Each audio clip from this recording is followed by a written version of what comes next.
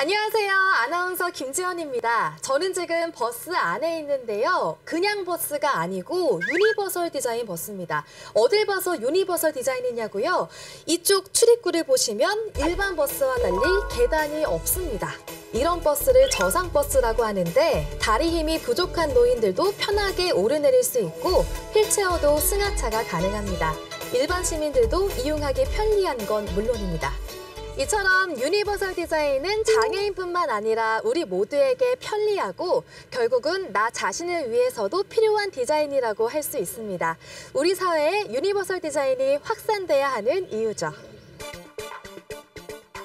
특히 제주는 많은 여행객들이 찾는 곳인 만큼 관광지에도 유니버설 디자인을 적용하는 게 필요할 텐데요. 그 구체적인 방법은 무엇인지 지난 시간 공영 관광지에 이어 오늘은 사설 관광지를 찾아가 봅니다.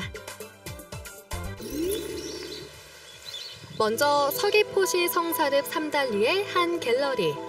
제주를 사랑한 사진작가 고 김영갑 선생의 작품들을 만날 수 있는 곳입니다. 잘 가꿔진 정원에 둘러싸인 아담한 공간. 안으로 들어가 볼까요?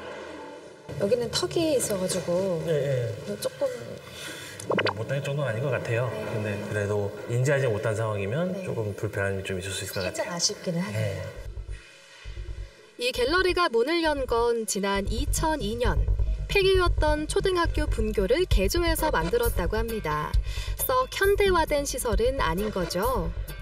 고즈넉하고 아기자기한 분위기를 느끼기엔 더할 나위 없이 좋지만 곳곳에 얕은 턱들은 주의가 필요합니다.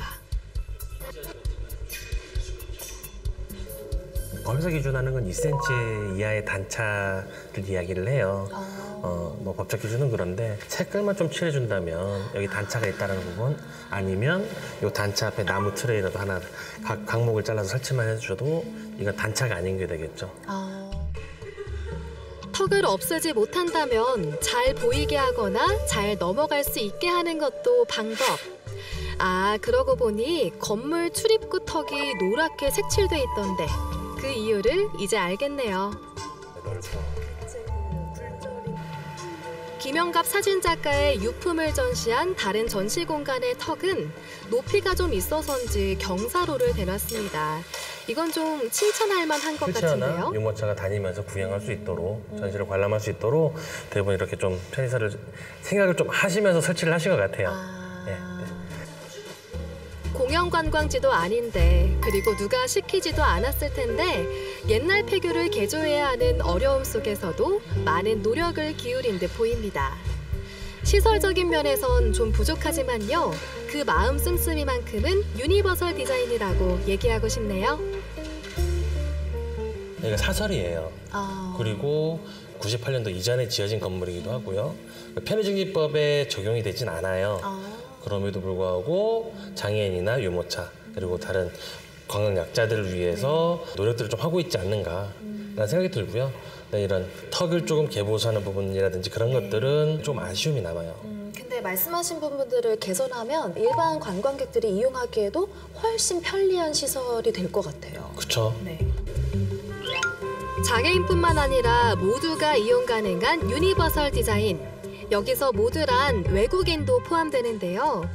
보행 환경뿐만 아니라 외국인을 위한 안내도 좀 더 보완이 이루어지면 좋겠다는 생각이 들었습니다.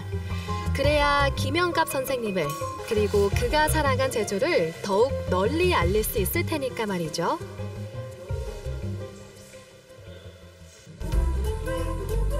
다음 찾아간 곳은 바다를 테마로 한 어느 테마파크. 다양한 해양 생물들을 한 자리에서 볼 수 있는 곳입니다. 발걸음을 옮길 때마다 펼쳐지는 신비의 세계. 각양각색의 해양 생물들이 멋진 볼거리를 제공하는데요.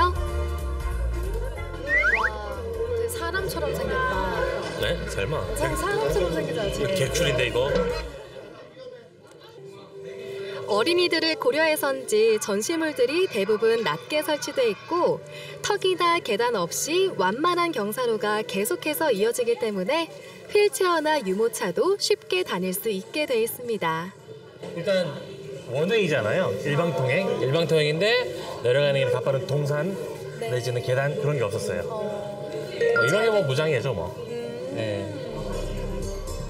계단이 없진 않습니다. 하지만 반드시 경사로가 같이 있어서 이용자들로 하여금 선택권을 주고 있죠.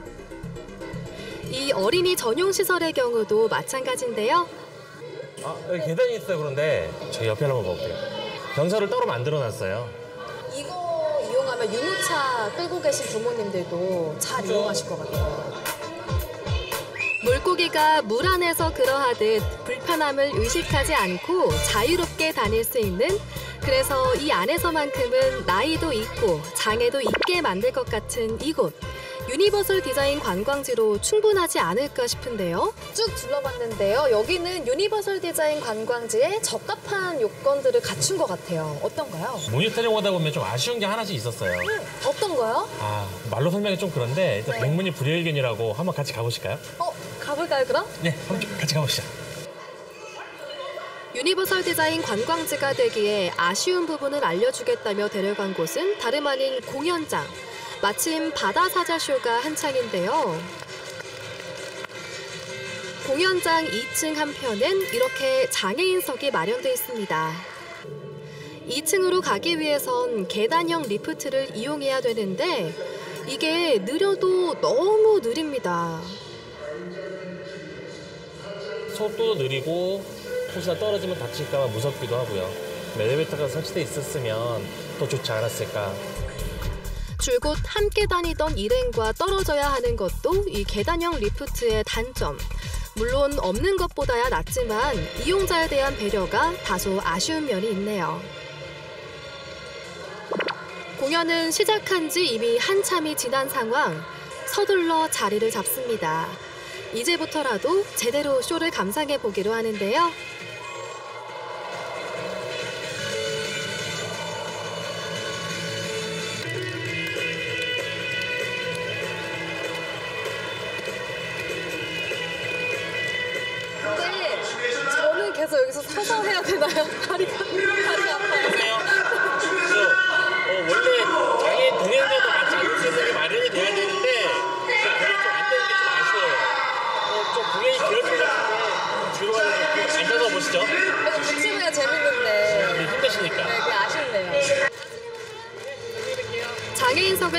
것까진 좋았는데 일행까지는 미처 생각하지 못했네요. 결국 두 번째 이별 아닌 이별을 하고야 맙니다.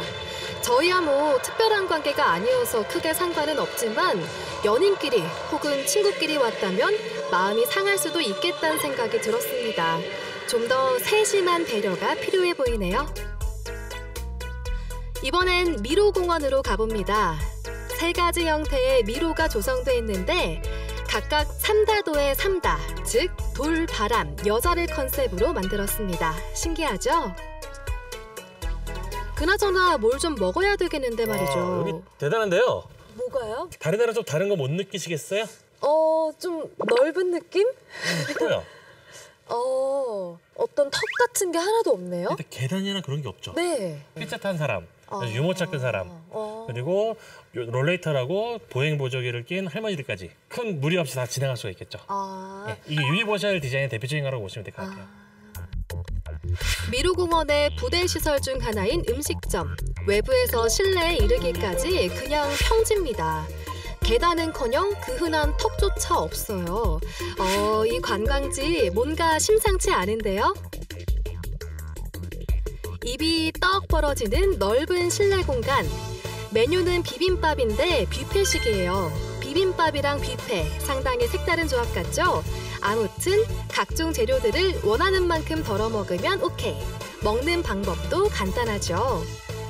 주변 텃밭에서 직접 재배한 신선한 채소만 사용한다는데 그래서 그런지 너무너무 맛있습니다.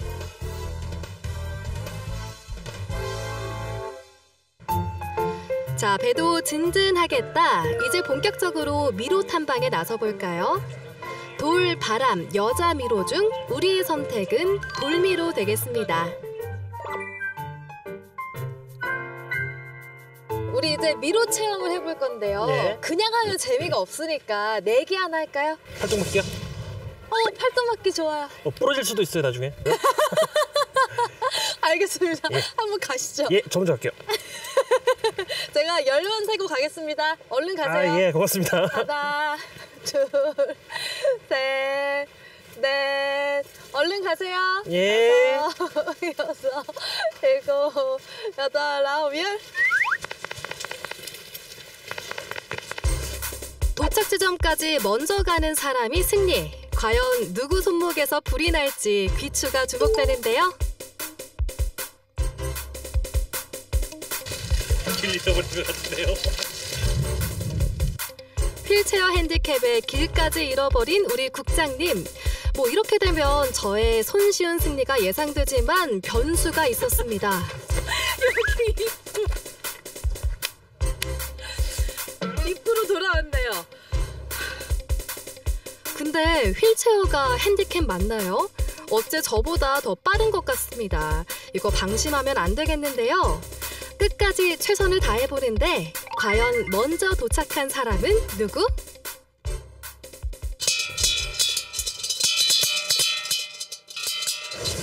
제가 먼저 온 거 맞죠?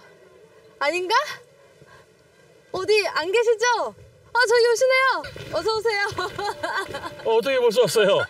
제가 이겼습니다. 아유, 세상 그래도 이거 기운은 내시죠? 이거 한번 치세요. 반 넘어오신 거 아니에요? 제가 이길 줄 알았어요. 전 제가 질 줄 몰랐어요. 아니 근데 오실 땐 불편하진 않으셨어요? 저 혼자 여기까지 올 정도면 뭐 이용할 수 있는 보행로긴 한 것 같아요. 아. 근데 다만 그 송이 그 길이 네. 어떤 데는 좀 푹 패이는 곳이 좀 있더라고요. 아. 그럴 때 좀 주의는 좀 필요한데 네. 혹시 나중에 온다면 어, 전동 휠체어를 한번 이용을 해서 어. 한번 돌아보면 더 편하지 않을까라는 아. 좀 생각을 했어요. 여기서 전동 휠체어 대여도 해주면 참 좋겠네요.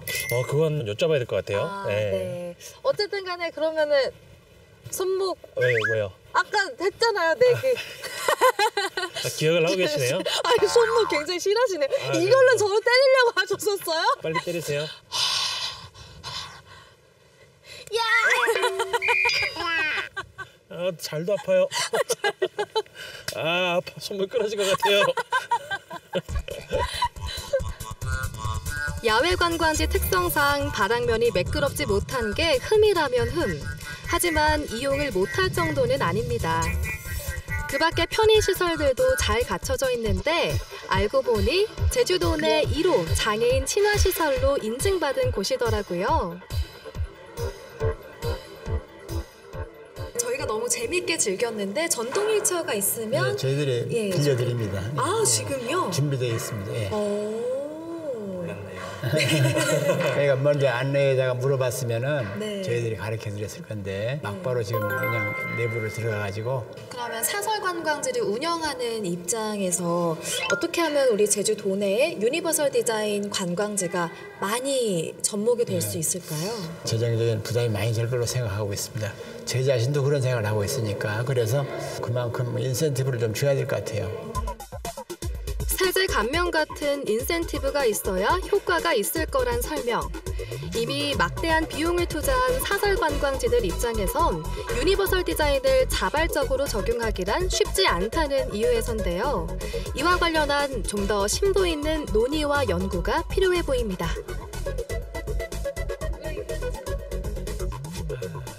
유니버설 디자인 관광지를 찾아라. 지난 시간 공영 관광지에 이어서 오늘은 사설 관광지를 쭉 둘러봤습니다. 평소에는 보지 못했던 부분들을 많이 볼 수 있게 됐어요. 성인 비장애인에게 불편하지 않은 것들이 다른 그런 뭐 아동이나 임산부나 장애인에게 불편함으로 다가올 수가 있거든요. 그런 것들이 유니버셜 디자인을 바라보는 시작이라고 보시면 될 것 같아요. 네, 다른 사람의 입장에서 생각해 보는 거. 그게 유니버설 디자인의 시작이군요. 우리 사회에 다양한 사람이 있음을 인정하고 그들의 입장이 되어보기. 이런 노력들이 확산된다면 우리 사회가 분명 더 건강해지고 밝아지겠죠? 유니버설 디자인으로 만드는 행복 제주. 우리 모두 함께 했으면 좋겠습니다.